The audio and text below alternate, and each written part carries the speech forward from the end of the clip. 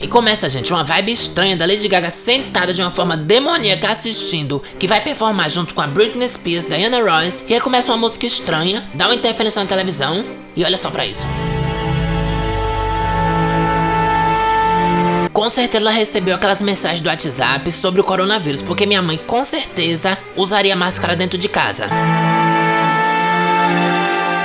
Eu não sei vocês, mas quem nunca levantou de madrugada assim estranho, já com a roupa de performance, rolou no polydance e desceu pelo buraco do inferno e chegou em um lugar cheio de almas demoníacas, né? Tchau! E depois de fazer uma dança estranha, ela simplesmente chegou na frente do palco com os dançarinos e começou a dançar algo parecido com pagode. Se eu tava com dificuldade de saber o que era ao vivo e o que não era, imagina agora com a máscara na boca. E quem nunca, gente, ficou bebê em alguma festa e aí de repente acordou com outra roupa, né? Muito comum. Tá parecendo eu quando vou deitar na areia da praia e tá quente. Chegou o momento que todos estavam esperando. Se...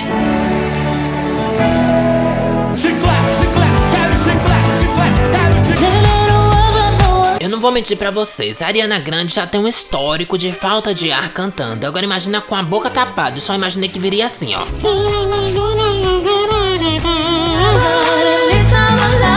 Eu sei que deve ser moda, eu sei que deve ser bem caro, mas eu não consigo encarar esse sapato da Ariana Grande. Gente, parece uma palmilha ortopédica. Quem tá na faculdade sabe que quando você entra em um grupo, briga com todo mundo que tá dentro do grupo e você é obrigado a fazer o trabalho com eles, e você tem que apresentar junto, mas não pode demonstrar muita intimidade porque você tá com raiva da pessoa. É assim, ó. Vai falar minha parte também? Gente, lembre, quando estiver na rua, tá? Com as mãos sem higienizar, não pegue na máscara que nem a Ariana. Um exemplo hoje. E lembrando, eu não sou a favor da escravidão. Acho horrível que no século 2020 elas usam trabalho escravo para poder girá-las. Oxi, quando a professora dizia que aquele era meu dia de apagar o quadro, me sentia na frente de todo mundo, eu saía assim, ó. E ela foi simplesmente tocar uma versão piano de Stupid Love. Gente, eu não sei quem criou essa história, mas tá estranho, tá diferente. E pra que ninguém duvidasse do seu talento e dissesse, ah, ela tá cantando de máscara, deve ser playback. Ela cantou diferente da música. Olha aí, ó.